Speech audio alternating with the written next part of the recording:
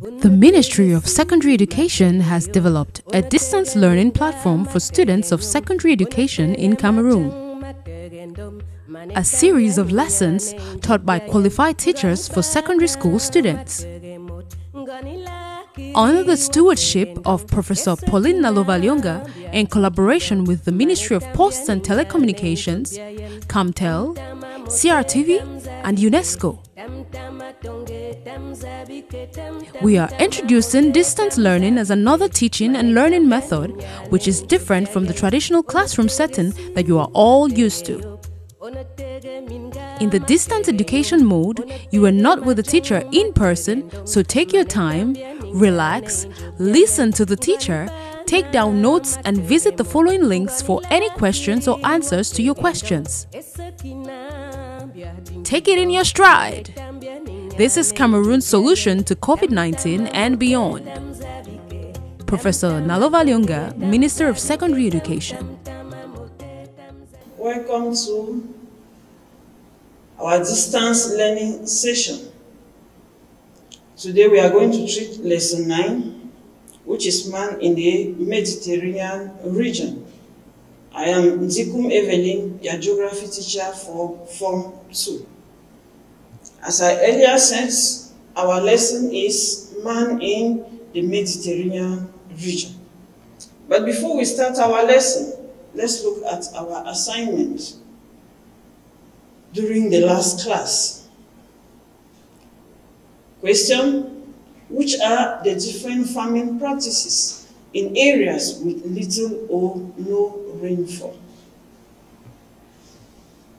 We have correction of our assignment. We have irrigation system of farming. We have pastoral nomadism. We have arable farming. We saw all these different farming systems in our last lesson.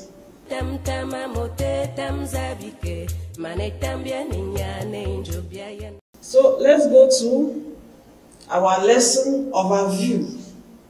We have learning objectives, previous knowledge, situation in real life, lesson activities, exercises, assignment, and the different references. Let's look at the objective of our lesson. We have talked about man in the Mediterranean regions of the world.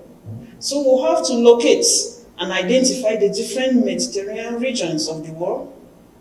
We describe the climatic and economic characteristic of this area, and we identify the different problems faced in this area and propose solutions. Let's look at previous knowledge. We have already studied other natural regions of the world. We are versed with these different natural regions.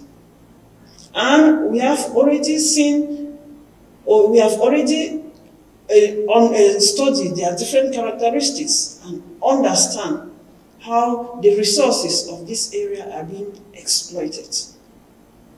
And looking at man in the Mediterranean region, obviously we look at how the resources of this area and also the characteristics of the Mediterranean region.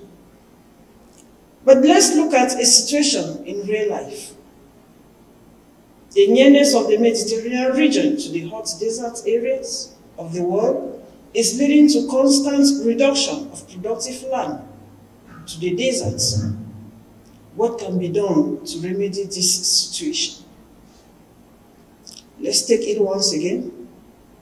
The nearness of the Mediterranean regions of the nearness of the Mediterranean regions to the hot deserts or to the hot desert areas of the world is leading to constant reduction of productive land to the desert. What can be done to remedy this situation? In the course of our lesson, we'll be able to answer this problem. Let's look at the different learning activities. We are going to look at the latitudinal location of the Mediterranean regions, the different areas found in the Mediterranean regions of the world, the characteristics of this area, the resource exploitation or resources exploited in this region, and also the different problems faced in this region and their proposed solutions. The Mediterranean region of the world is located between latitude 30 degrees to 45 degrees north and south of the equator. It is found on the western side of the continent. We are going to look at the different areas in the world where we have the Mediterranean regions in order to see whether they are really found on the western side of the continent. These are the different Mediterranean regions of the world. We have in the American continent, this is North America, we have Central California. We come down to South America, we have central Chile. We come to the Mediterranean region itself, the Mediterranean area, where we have the Mediterranean coastline. And we come down to south of Africa, where we have the Mediterranean area in Cape Town in South Africa.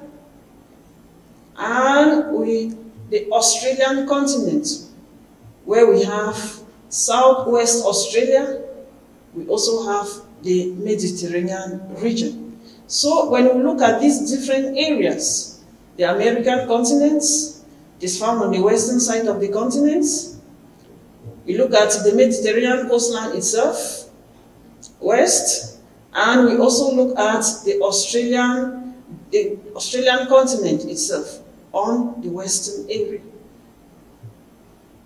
So, with the area location, as we have already seen on our diagram, we realize that the Mediterranean region has its own different characteristics. And which are these characteristics? We have the nature of the area, which are the physical characteristics of this area. And we also have the different resources that are found in this area and how these resources are being exploited. Let's look at the physical characteristic of the Mediterranean region. The Mediterranean region, it we look at climate. The climate of this area is known as the Mediterranean climate. And this area has two seasons, the winter and the summer seasons, the hot, dry, and sunny summers, and mild winter. With this, we have a very moderate rainfall of about 400 millimeters to 900 millimeters per year. And with this moderate rainfall, we realize that the type of rainfall in this area is the cyclonic rainfall. And this rainfall, it falls for a very long period of time, but not very heavy rainfall, but it lasts for a long period of time. And the temperatures are also moderate. We have summer temperature of 21 degrees centigrade, and winter temperatures that goes down to about 10 degrees centigrade. So they are very moderate temperature as opposed to the different areas of the world where we have winter that the temperatures go right down to zero degrees centigrade. So looking at the Mediterranean region, they have very, very moderate temperatures. We look at the type of air masses that blow in this area. And it is with the help of these air masses that we have the type of rainfall that we just mentioned above, the cyclonic rainfall, the meeting of two air masses with different characteristics, the warm and the cold air mass. So we have offshore trade winds that blow during the summer season. Offshore means these air masses, they are blowing from the coastal or from the land to the water body. So this type of air mass is very dry it brings little or no rainfall, while, and that is why we have very hot and sunny summers, because the rainfall is very, very little. We have onshore winds. These onshore winds are winds that blow from the water body towards the coastal area. There are, there are winds with moisture, a lot of moisture with them, due to the high rate of evaporation that takes place on the water surface. So they carry this moisture to the coastal land. And that is why in winter, we talk about mild winters. And in win these winters, we have rainfall. We have heavy rainfall or moderate rainfall, not moderate rainfall in this area because of the onshore winds that blow from the water body towards the coastal areas. Then let's look at the resources of the Mediterranean region. The activity and the different resources. We have agriculture, the cultivation of crops, arable farming, and animal rearing or pastoral nomadism. Arable farming.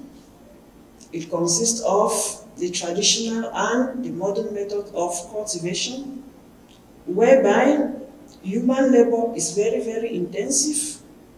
We have animal, which are also being used to till the soil, and we also have machines, that's mechanical agriculture, modern method of agricultural practices. We also, with this, we have a wide variety of crops that are being cultivated in these areas. Mostly cereals, because looking at the rainfall in this area, we realize that mostly cereals crops can do well in this area. So we have beans, maize, wheat. We have fruits and also vegetables. And the farms in this area are mostly, they are small, small farmlands.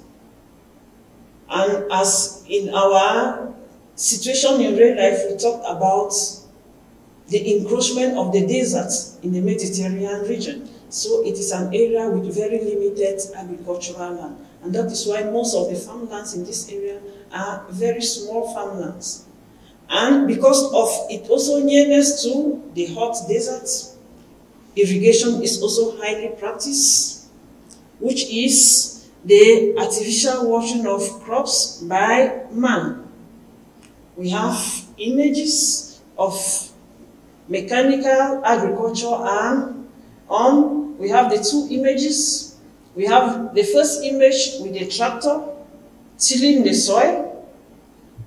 And the second image, we have a combined harvester that is harvesting rice.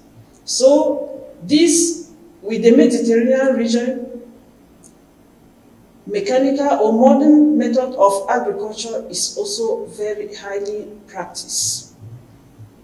Then we also have irrigation, as we have earlier said. We have our first image which is modern method of irrigation, whereby water is being pumped by engines, electricity. We use electricity to pump water into the farms. And we have, this is water that is watering the crops. Then we also have a traditional method of watering of these crops, traditional irrigation method, where we have a man carrying water in a can and watering the crops.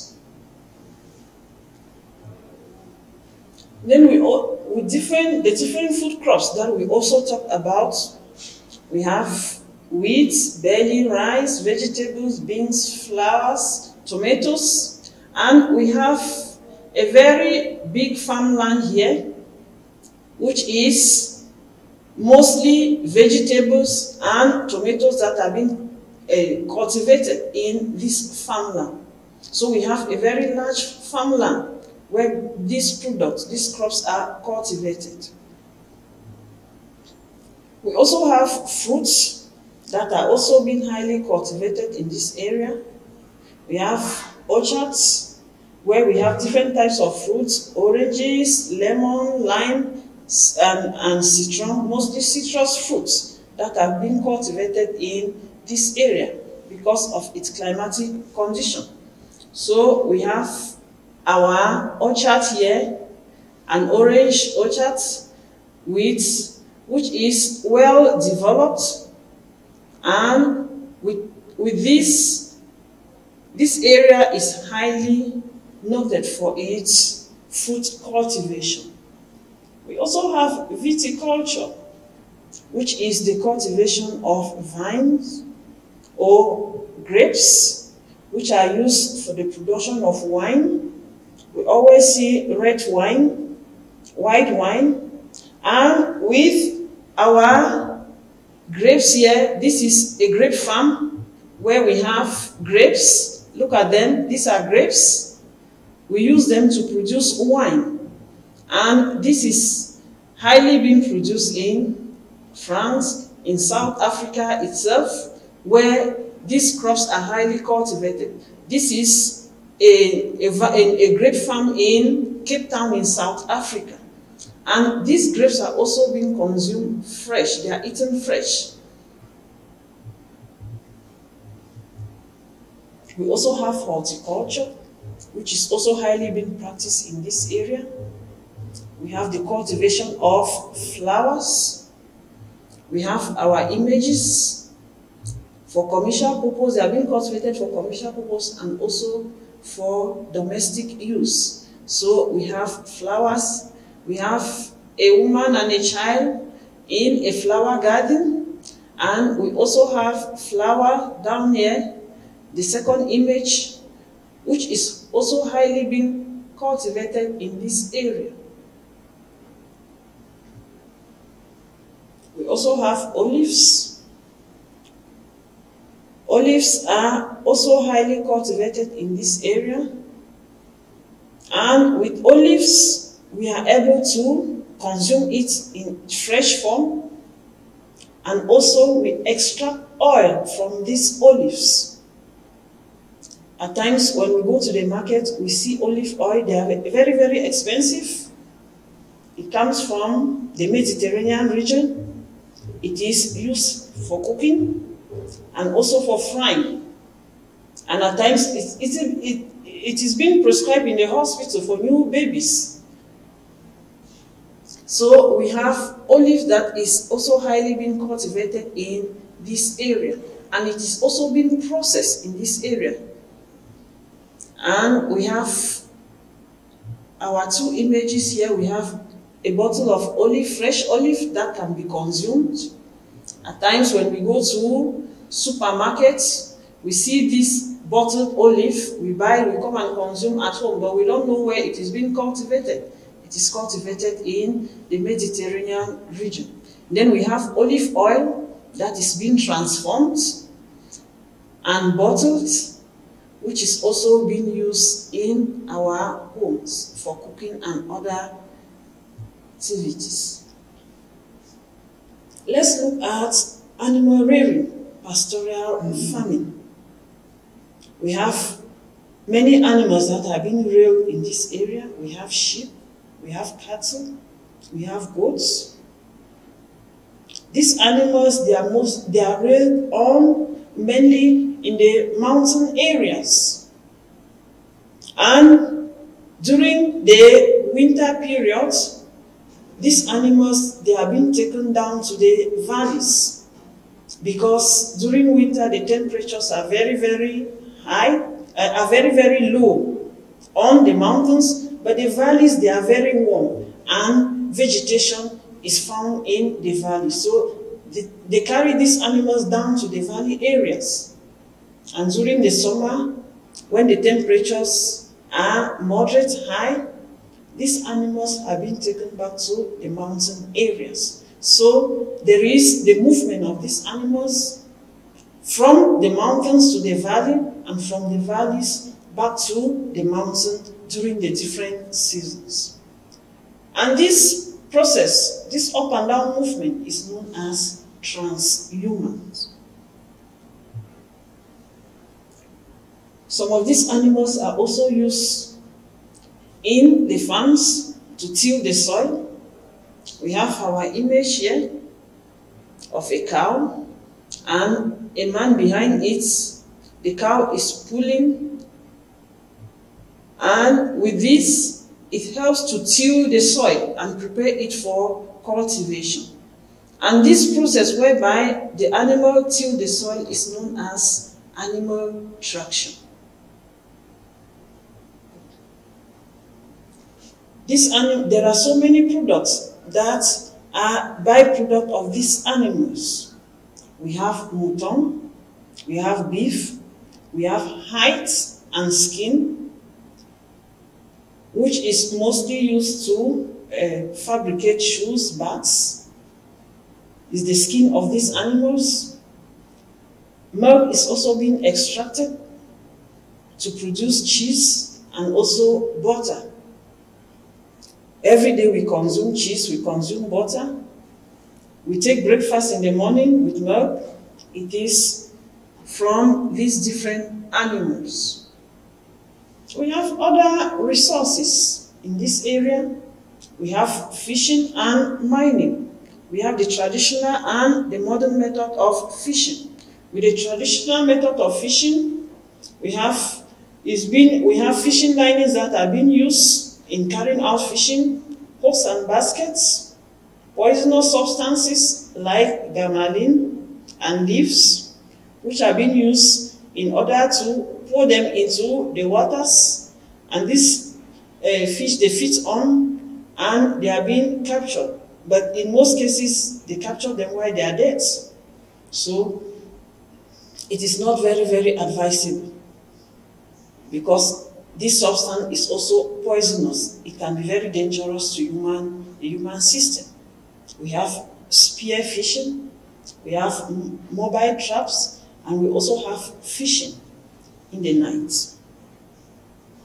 We have modern method of fishing. We have boats, fishing boats, and ships. Here on this picture, we have boats that are being anchored on the sea and we have different fishing materials that are here. These are nets that are found in these containers where these fishermen, they use during their fishing activity in order to catch fish. Then we have mining activity that is also going on in the Mediterranean region. We have a quarry here where we have exploitation of stone for construction work and other activity, road construction. Then we have an open pit mining here where minerals are being exploited, especially manganese, which is being exploited here. And we also have petroleum. Petroleum also is highly being exploited in this area. With these different activities, obviously there are a lot of problems that this region also face. This region face problem of deserts, spread of the deserts that affect farmland and cause food insecurity. When we are talking about the location of the Mediterranean region, we say it is close to the desert. And in our life situation, we, we brought out this very problem, how the productive land is being uh, reduced as a result of the spread of the desert.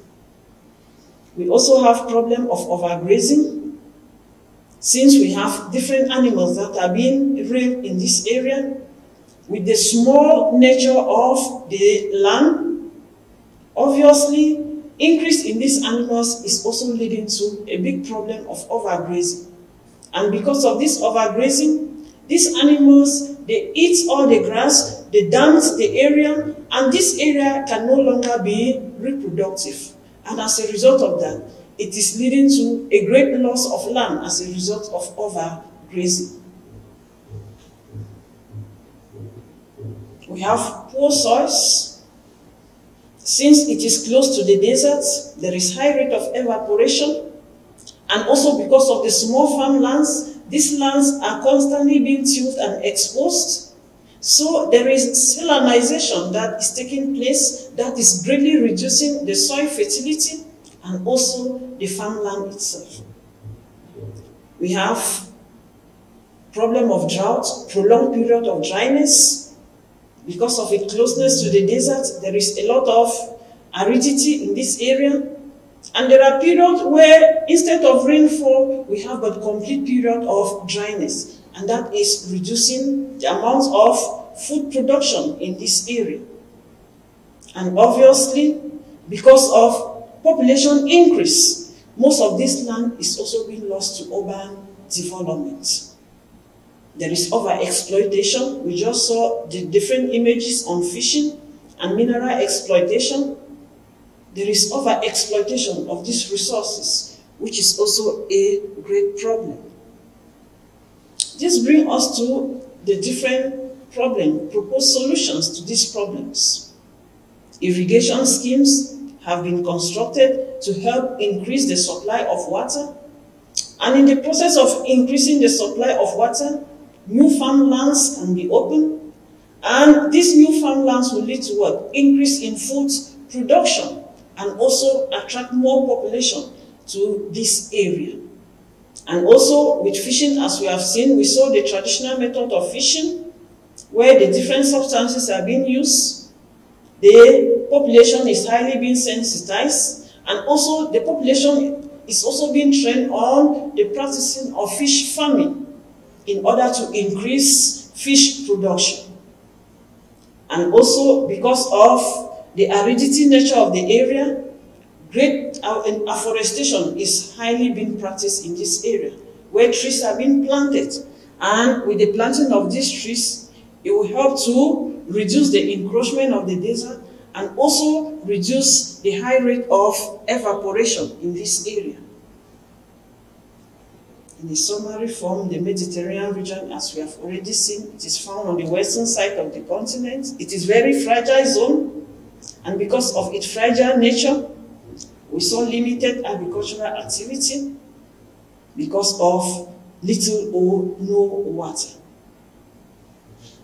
However, we are going to look at some questions in order to, we are going to look at questions concerning our lesson. Question one, name the different, uh, this natural region is located between latitude 30 degrees and 45 degrees north and south of the equator.